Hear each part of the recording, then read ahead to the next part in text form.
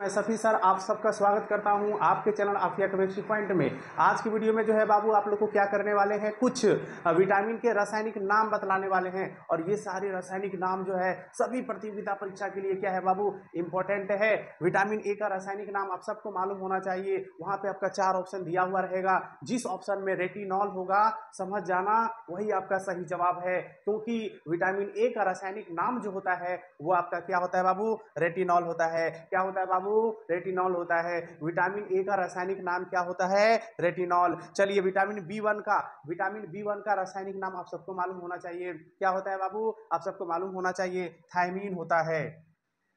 Thymine क्या होता है बाबू? थायमीन याद रखना, क्या होता है? थायमीन होता है। Vitamin B one vitamin B one का रासायनिक नाम क्या होता है? थायमीन होता है। चलिए vitamin B two vitamin B two का रासायनिक नाम क्या होता है? Riboflavin riboflavin vitamin B two का रासायनिक नाम राइबोफ्लेविन चलिए, यहाँ पे लिख देते हैं बाबू।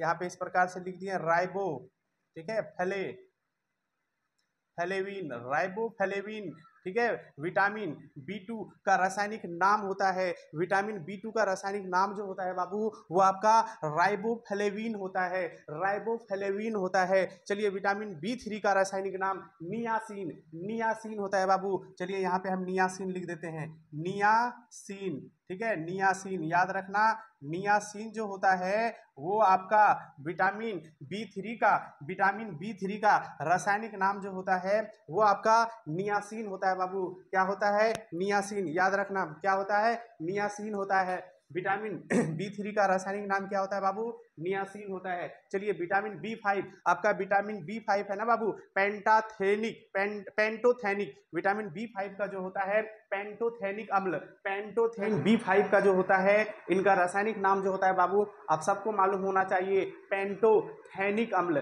पेंटोथेनिक अम्ल क्या होता है बाबू? पेंटोथेनिक अम्ल होता है। यहाँ पे हम लिख दिए, पेंटोथेनिक। थैनिक ठीक है? पेंटोथैनिक अम्ल, ये आपका विटामिन बी फाइव का, विटामिन बी फाइव का रासायनिक नाम क्या होता है? पेंटो थैनिक अम्ल। याद रखना बाबू, विटामिन ए का रासायनिक नाम जो होता है, वो आपका रेटिनॉल होता है। विटामिन बी वन का रासायनिक नाम थायमीन होता है। विटामिन बी टू का रासायनिक नाम राइबोफ्लेविन होता है। विटामिन बी थ्री का नाम जो होता है बाबू, नियासिन नियासिन होता है। विटामिन बी फाइव का रासायनिक नाम पेंटोथेनिक अम्ल पेंटोथेनिक अम्ल होता है। चलिए आगे देखते हैं। Vitamin B seven, vitamin B seven का रासायनिक नाम जो होता है बाबू, वो आपका बायोटीन होता है। क्या होता है? बायोटीन बायोटीन बायोटीन ठीक है बाबू? याद रखना बायोटीन विटामिन बी सेवन का रासायनिक नाम क्या होता है? बायोटीन विटामिन सी का रासायनिक नाम क्या होता है?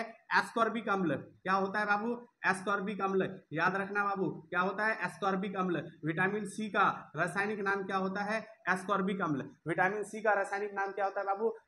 एस्कॉर्बिक अम्ल होता है। विटामिन डी का विटामिन डी का रासायनिक नाम क्या होता है? कैल्सी फेरॉल कैल्सी फेरॉल होता है।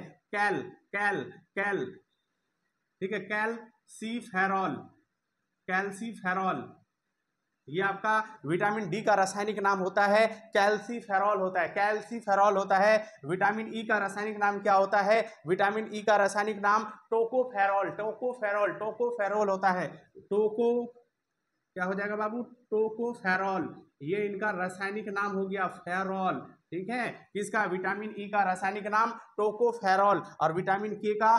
फाइलो फाइलोकविनॉन फाइलोकविनॉन ये विटामिन के का रासायनिक नाम है। तो इन सारे विटामिन का रासायनिक नाम जो है ना बाबू, आप पूरी ईमानदारी से याद रखना, क्योंकि सभी प्रतियोगिता परीक्षा के लिए क्या है बाबू, ये विटामिन का रासायनिक नाम जो है इंपॉर्टेंट है। ठीक है बाबू, याद रखना, विटामिन बी सेवन का रासायनिक नाम बायोटीन, विटामिन सी का एस्कॉर्बिक अम्ल, विटामिन डी का कैल्सीफेरॉल कैल्सीफेरॉल विटामिन ई का टोकोफेरॉल टोकोफेरॉल और विटामिन के का फाइलोकविनॉन विटामिन के का रासायनिक नाम जो होता है है बाबू? वो आपका क्या होता है? फैलोकविनॉन फैलोकविनॉन तो इन सारे विटामिन का रासायनिक नाम जो है बाबू, आप पूरी ईमानदारी से कंप्लीट कर लेना। आज की वीडियो आप लोग को कैसा लगा? अच्छा लगा हो तो बाबू वीडियो को लाइक शेयर कमेंट ज़रूर करना। जो बाबू हमारे चैनल पर नए हो, उन बाबू से रिक्वेस्ट है चैनल को ज़रूर सब्सक्राइब करना। धन्यवाद।